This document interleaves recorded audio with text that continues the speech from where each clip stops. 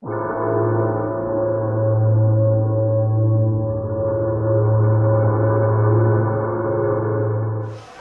DJ Jumpy, a famous 20 and I say, you think turn up, you think shut?